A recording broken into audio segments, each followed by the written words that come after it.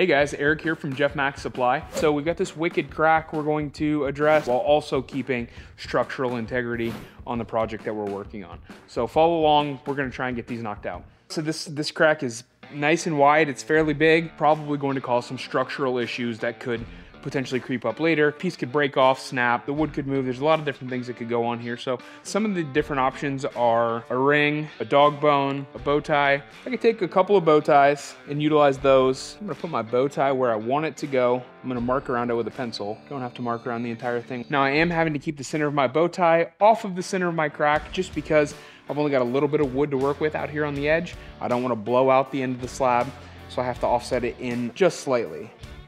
And again, I'm marking the outside of my bow ties here just so that I can get proper alignment with my template. And I know that once I put my template tape on my template, I can align it perfectly so my bow tie is the exact spot. So I'm just taking a different template that I have, putting it over my router, and then also taking my bow tie, placing it up against my router bit and checking it to make sure that my router bit isn't sticking above my bow tie because basically what I want to do is I want to be able to go back and sand this smooth at the end. I want my bow tie to stick up from my work surface a little bit. Uh, now that I know that I'm at the proper depth, I'm going to go ahead and hog out the hole for the bow tie.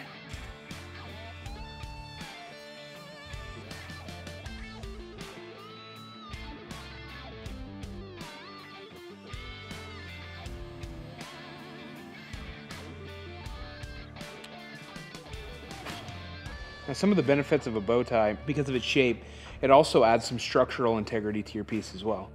So not only is it a decorative feature that's going to get rid of an unsightly mark, but it also adds that rigidity and stability to your piece. Now you'll notice that that bow tie fit very, very snugly. However, that lets you know that you're going to have a really tight fit, that you're not gonna have some ugly, unsightly gaps around the outside of your bow tie. So if it fits that tight, that's exactly how it's supposed to go.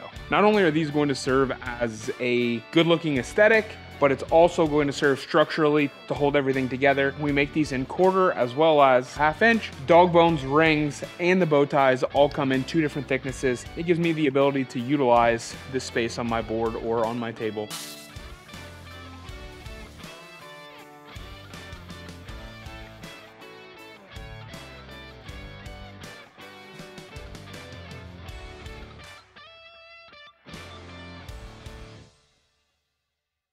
We appreciate you watching. If you have any questions, definitely let us know. We'd love to hear from you about what it is that you want to see in your shop.